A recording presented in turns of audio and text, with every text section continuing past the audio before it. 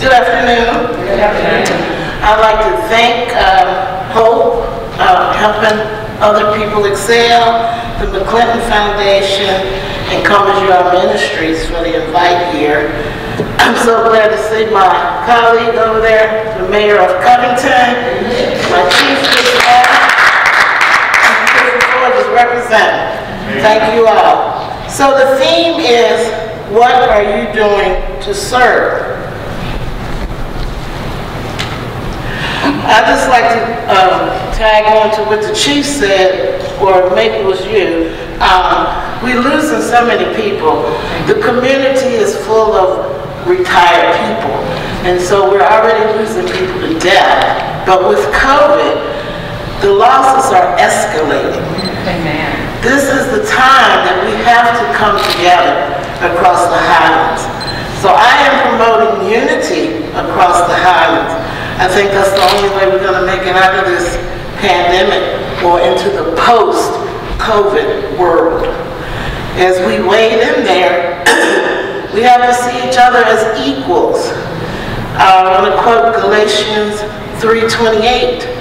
There is neither Jew nor Greek, there is neither bond nor free, there is neither male nor female, for ye are all one in Christ Jesus. Amen. We are all one in the Alleghany Highlands. Amen. We need each other to move forward.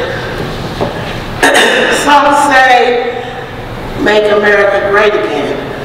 But I say, in the words of poet Langston Hughes, let America be America again. And I'd like to uh, quote some excerpts from that poem, if I may. Let it be the dream it used to be. Amen. Let it be the pioneer on the plain, seeking a home where he himself is free. Let America be the dream the dreamers dreamed. Let it be that great strong land of love where never kings connive nor tyrants scheme, that any man be crushed by one above. I am the farmer, bondsman to the soul. I am the worker, sold to the machine. I am the Negro, servant to you all. I am the people, humble, hungry, mean. Hungry yet today, despite the dream. Beaten yet today, all pioneers. I am the man who never got ahead, the poorest worker, battered through the years, in search of what I meant to be my home. For I am the one who left dark Ireland's shore, in Poland's plain, in England's, England's grassy lake, and torn from Black America's strand, I came to build a homeland of the free.